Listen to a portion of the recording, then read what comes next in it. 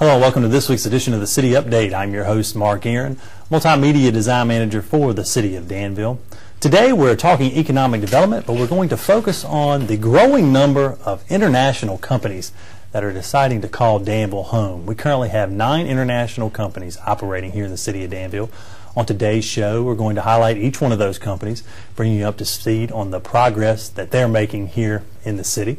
And because we're seeing this growing number, just a couple of weeks ago, our Office of Economic Development held a seminar on the World Trade Center Association. This is a non-for-profit organization that assists companies in world trade. Had a great turnout for that seminar. In the second half of the show, we're going to talk with an individual, George Scott, who's the vice president of Batali uh, Sportswear, a company that has recently located in Danville. George has been a member of the World Trade Center Association for many years. He's going to talk about the benefits of that association um, and things of that nature in the second half of the show. But in the first half, I want to touch on these international companies. So joining me today is Jeremy Stratton, our Director of Economic Development. And Jeremy, welcome to this week's show. Thank you, Mark. Thank you for having me on the show. And um, I was surprised to see the number of international companies that we currently have here in Danville. I guess I, individually, you know, I'm familiar with these companies, but uh, a total of nine here in the city of Danville. Why do you see uh, a growing number of international companies want to locate here in Danville? What, what do you uh, attribute that uh, success, I guess, to? Well, we're truly becoming an international city, Mark. Uh, we do have nine companies here from nine different countries, and I'm including LifeBat with, with ties to, from Taiwan. The reason why we're centrally located on the East Coast, and for a lot of these uh, out-of-country companies, they, they want to have a presence on the East Coast, the most populous part of the United States, and we, we can reach all the way down to Florida and all the way up to New York uh, where most of the population centers are within a day, to day and a half drive, and that's very important. So plus, we're also in the eastern time zone. Okay, so that's a big selling point for us. plus, our, plus our low cost of operating costs, okay. which are very significant versus if you wanted to locate in uh, Greensboro or, or Richmond. Right. Now, I heard you mention in the seminar that uh, a lot of your recruiting has been done overseas recently. You spent actually more time over there than you really have, say, in New York City recruiting companies to Danville. Uh, can you expand on a little bit of that and uh, your travels recently? Uh, yes, so as I said, uh, we've made several stops in Europe uh, in connection with different leads we have working with the state of Virginia. In fact, went over to Poland before with Governor Kaine and had dinner with several companies in Warsaw and we're, we're, even two years later we're, we're seeing uh, uh, some fruits of that labor. Uh, the growing side we're seeing is over in Asia, and that's because of our ties with LifeBat, and also uh, new Governor McDonnell has uh, several cabinet members that who uh, grew up either in Taiwan and and Korea, but are naturalized citizens here in the U.S. and work in the governor's cabinet in economic development. And you talk about the contacts that are made, these face-to-face -face meetings and how they're so important. Can you can you elaborate on that? You know, going and meeting these individuals face to face, even if it takes you know a week at a time to do so. It's so important, especially in the Eastern culture, to have face to face meetings for them to trust you. you. you. can't do it through Skype or through right. the computer. You got to go over there and actually visit. And last December, uh, Ken Bowman from Pittsylvania County and I went over to Taiwan for a visit and had a very successful visit. Not a lot of people have gone over to Taiwan to do recruiting. Right. Uh, we saw a lot of companies that were excited that we were there. So this June, uh, next month, I'm going with uh, the governor's people over to Beijing, Hong Kong, and Taipei. Beijing and Hong Kong to make some new contacts. In Taipei, we've had uh, several companies that wanted us to come back. Great. And, and you keep mentioning the, the governor's uh, cabinet individuals in the, the governor's office. Talk a little bit about um, the governor's role in this because I know he sent uh, Lieutenant Governor Bolling down. I know they have a presence here in Southside Virginia about once a month now, um, and, and we're really glad to see that here in Southside Virginia. Uh, Governor McDonnell has really taken upon himself, as the previous governors have, mm -hmm. to to really change the way we do economic development to get new business here in Southern Virginia. In his cabinet, he has uh, Peter Sue mm -hmm. and also Jimmy Rhee and he has uh, Jimmy Chang, who's uh, who's the head of commerce and trade. Right. And all those three individuals have a lot of business ties in the Far East, and so we're, we're seeing a lot more attention paid to that where previously there wasn't. Now, why do you think uh, this international boom? Uh, are these companies just more willing to relocate and needing to expand versus what we see here in the United States nowadays? Well, I think in the United States you've seen a saturation of market. Uh. Companies in the U.S. can't unless they have a totally new project, a totally new product, They're not going to necessarily expand in the U.S. and they'd rather go overseas to get new markets. Right. Well, that's the same thing over in the in the Orient. Companies in Korea reach a certain point, and in order for them to grow beyond that, they have to come to the U.S. Right. And that's what we're seeing is other countries investing here. Right. Now, I know you've worked with a lot of companies um, in your many years of economic development. Um, what are some of the benefits of working with an international company? I, I think it adds a, a- an extra layer of texture to the Okay. Danville community. I, I think it opens up a lot, a lot of doors. Uh, it it changes the way people look at the world, and I think that's so important for our community going forward. Well, let's talk a little bit about some of these international companies that are currently located here in Danville. And, and most of these uh, I'm familiar with, and our viewers may be familiar with. I know at least four or five they'll be real familiar with. Some may be new to them. So I, that's why I'd like to cover all of them on today's show. But the first one is, is Nestle, and I know m- most of our viewers are familiar with Nestle, but I didn't realize that they were based out of Switzerland.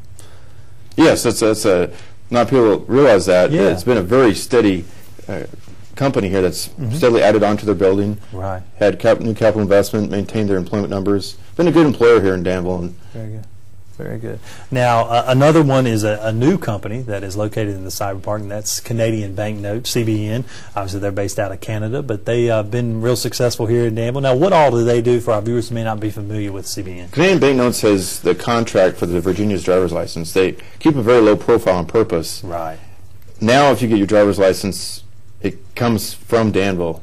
Uh, there's some extra security encryptions put on the driver's license, so rather than give it to you directly, they have to uh, go through all the security checks, which they do in Danville, and then they mail you the Mail you license. So it's being mailed uh, straight out of the Danville facility. Absolutely. Very good. Now, how many uh, employees do they have? They have 15 people right Okay, now. 15 people employed. Okay, very good.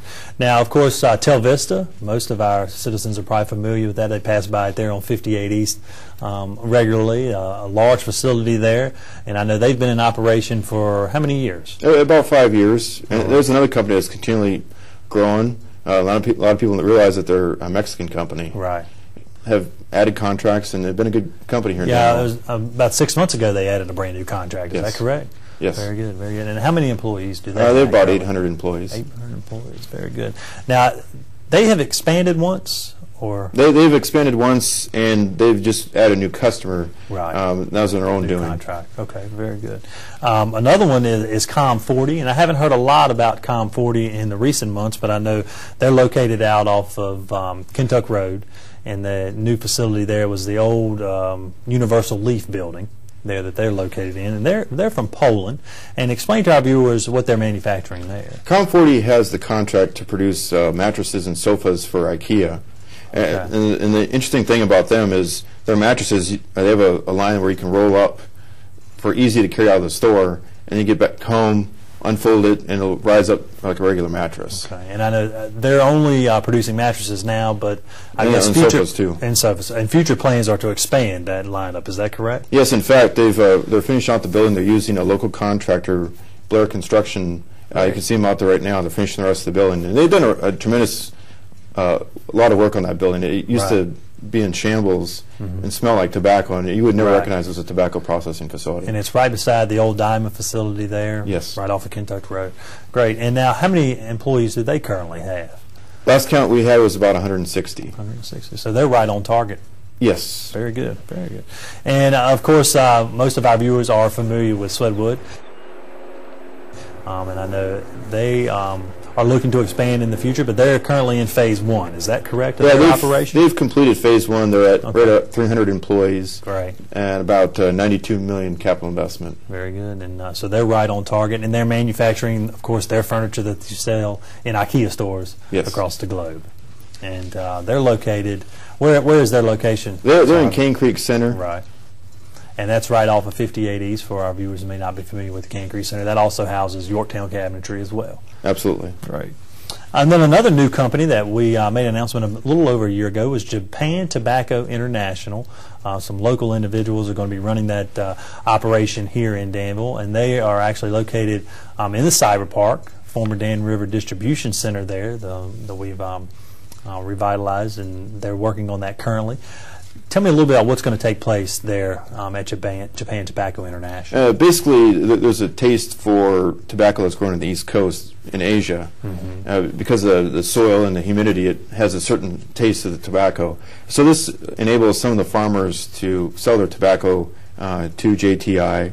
They're going to process it, take the take it and process it so it can be um, made into cigarettes. And they're not making the cigarettes here; they're just processing, uh, and then they take the processed stuff and ship it out of the country. Very good. That was a Japan company, and I know they're they're on target to start up operations towards the end of the summer. I know they're working hard out there to get everything up and operational. But in the summer, still target date for them. In the summer, and I want to remind us, it's uh, 39 full-time jobs and about 150 seasonals. Seasonal. Uh, and I know that they, they're taking a look at some people right now. Very good. Great. And then um, two other companies, I guess. One is uh, Essel Propac, and then Arista Tubes, which is a city area of Essel. Uh, they've been in the city, gosh, I would say, what, eight or nine years? Uh, Essel's Essel? about seven, and Seven, I said okay. Arista's four or five. Four or five. So th- I know they're doing very well here in the city, and they're out in Airside Industrial Park, correct? Yes. All right. And then the Essel United Kingdom, is that where? Uh, Essel's from India, India, and okay. Arista, w- which is a partner to them, is out of the U- United Kingdom. Okay, very good. And um, Essel Propac, they're manufacturing laminated tubes, I guess, like the toothpaste tubes that Yes. we can buy off the shelf. And what is Arista manufacturing here in Uh, the, the tops. The tops. Okay, very good. And they have expanded one or two times. Um, Essel's expanded a couple of times. Right. Arista is getting on their feet. Uh, they're Okay. reaching profitability and, and doing some great things now. Very good. And the last one I want to mention, and you kind of mentioned this um, a little earlier in the show, this company, and that's LifeBat. Uh, can you explain to our viewers who may not be familiar with, with what this company is actually doing and where they're located here in the city of Danville? LifeBat, the couple, uh, the lady uh, Michelle, she's originally from Taiwan. Okay. Uh, her and her husband, they were from Las Vegas and they moved over to Danville. Okay. Uh, they live in the county right now, and they're waiting. They're going to move into Old Belt One building, which is next door to Luna Okay. on Bridge Street. We, we're we've uh, had a prolonged construction of their facility Right. that the Industrial Development Authority of the city owns. Okay. And it was bec- we had a rough winter. Right. Uh, we're trying to get the offices done here within the next two months for them to move in, where they're going to assemble and sell lithium iron phosphate batteries. Right. Now, will they be manufacturing that here in Danville, or will those just be their, their headquarters and Uh, they, they may eventually manufacture, but they're essentially going to take materials that they get from Taiwan, assemble them, and sell them here. Great. And I know that that's a good segue because uh, the owners of LifeBat were actually at the seminar. Is that correct that you That's held? Um, and had a lot of great questions for the World Trade Center Association members that were present in Danville. So I'd like to transition now into that and talk a little bit about that seminar. As I mentioned, the World Trade Center Association, a not-for-profit um, organization that assists companies kind of like LifeBat in world trade and um, exporting things of that nature. Um, tell our viewers a little bit of why economic development uh, decided to host this seminar and get our local companies familiar with the World Trade Center um, Association. One of our newer companies, Batali, which is in the process of moving on 753 Main Street, does a lot of uh, exporting to Africa and Europe, a lot of their sportswear material and, and clothing.